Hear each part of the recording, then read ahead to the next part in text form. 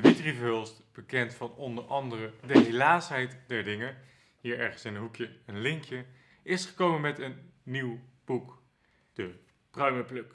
Uitgegeven door uitgeverij Pluim. De recensenten waren niet overwegend enthousiast.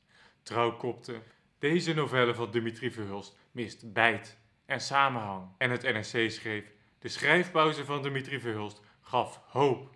Maar zijn terugkeer met de pruimenpluk valt tegen. Dat was aanleiding voor Mark Koelen om aan mij te vragen wat ik ervan vond. Dus bij deze, de pruimenpluk van Dimitri Verhulst onder het vergrootglas. In de pruimenpluk hebben we een ik-verteller, Mathies, die eigenlijk wel klaar is met het leven. Hij woont alleen aan een afgelegen meertje, alleen omdat zijn vriendin hem verlaten heeft. En af en toe peddelt hij het meertje op met zijn kano en dan gaat hij drinken. Ja, dat Mathies kan drinken, dat wordt nogal benadrukt in het boek. Sterker nog, het is zijn enige mannelijke eigenschap.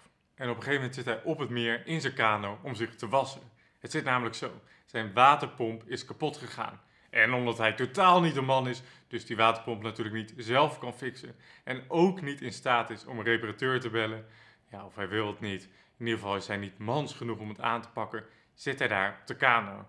Nee, sterker nog, hij staat daar in het water, heeft zijn haartjes lekker vol met shampoo gedaan, afgespoeld en het schuim staat hem bij zijn bekken. En ineens is er een andere kano. En in die kano zit Elma, een weduwe. En zij is eigenlijk de grote tegenspeelster in de rest van deze novelle.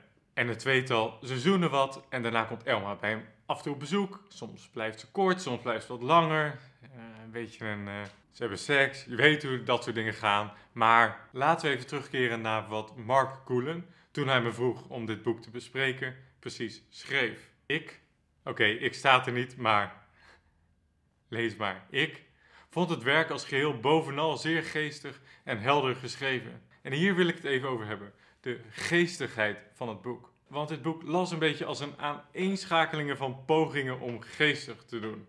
Hier een illustratie. Reparateurs zijn gemene wezens. Eigenlijk regeren zij en niemand anders de wereld. En dat laat ze volgaarne voelen. Dit zegt dus onze hoofdpersoon. Een beetje overdreven, maar het kan nog wel.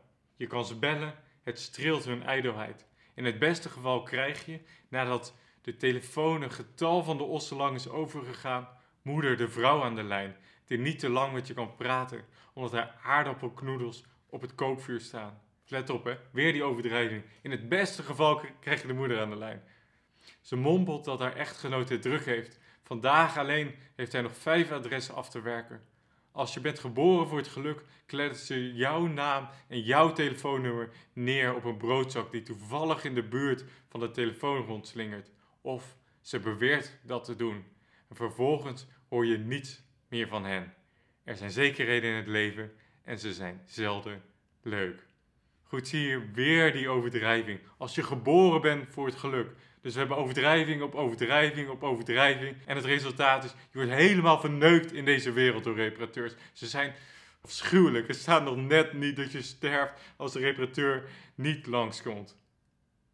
Oh, wacht. Als je verwarmingsketel het winters laat afweten, dan kan je maar beter hopen dat de vrouw van de begrafenisondernemer wel jouw nummer noteert. Of je het nou grappig vindt of niet, ik denk dat dit wel een goede illustratie is van dit boek. Het zijn schetsjes die je of wel of niet of een beetje grappig vindt, verpakt in een liefdesverhaal van een eenzame man die de wereld haat. Eigenlijk. Of in ieder geval van een cynische stem. En die cynische stem die komt mij de neus uit. Ik vind het gewoon saai. En al dat is verpakt in een hele dunne wereld. Want laten we eerlijk zijn, dit boek, het speelt zich eigenlijk nergens af. Dit brengt me op iets anders wat Mark schreef. Namelijk het volgende. Dat laatste, het helder zijn van het werk, komt met name doordat de ruimte betrekkelijk diffuus is en de personages alleen in hoofdlijnen zijn uitgewerkt, waardoor het enigszins simpele, doch aardig gevonden plot niet wordt overschaduwd door allerlei details. Maar voor mij was deze vaagheid van de wereld juist een constante ergernis.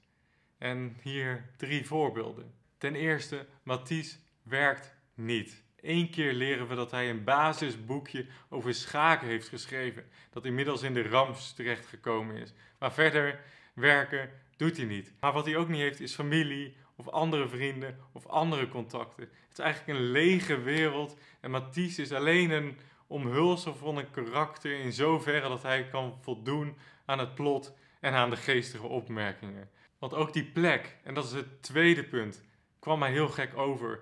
Het zou tientallen kilometers zijn van eigenlijk de bewoonde wereld. En zwinters zouden de sneeuwruimers er niet komen. En zit je daar maar een beetje. En ik dacht, is dit Vlaanderen? Volgens mij kan dit bijna niet Vlaanderen zijn. Maar waar is dit wel? Ik wist het niet.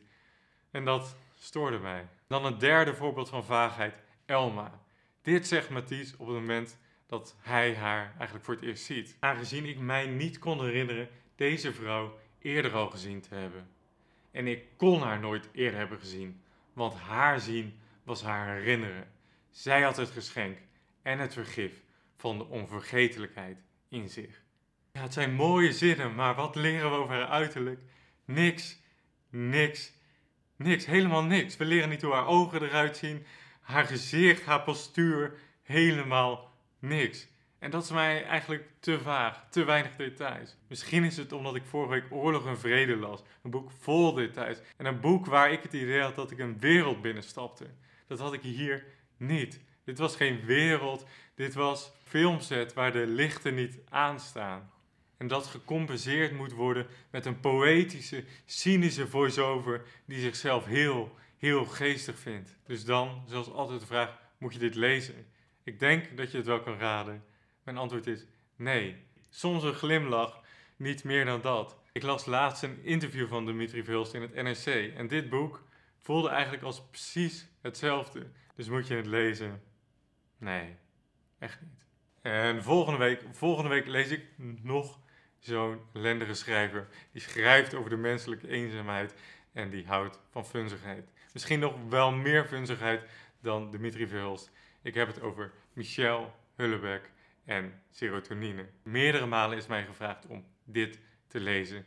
Jullie vragen, ik gehoorzaam, zoals dat gaat in de moderne wereld. De kijker is de baas. Dus serotonine van Michel Heulebeck met weer een sneu vent in de hoofdrol die op zoek is naar liefde. Ik heb er totaal geen zin in. Weer een week lang geen ochtenderecties. Serotonine, dames en heren. Abonneer je en misschien tot volgende week.